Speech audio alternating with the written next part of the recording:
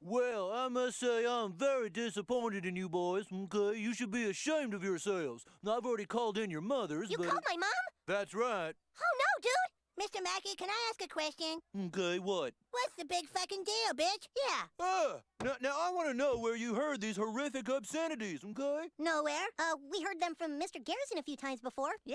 Boys, I seriously doubt that Mr. Garrison ever said, uh, eat penguin shit, you ass spelunker. Sweet.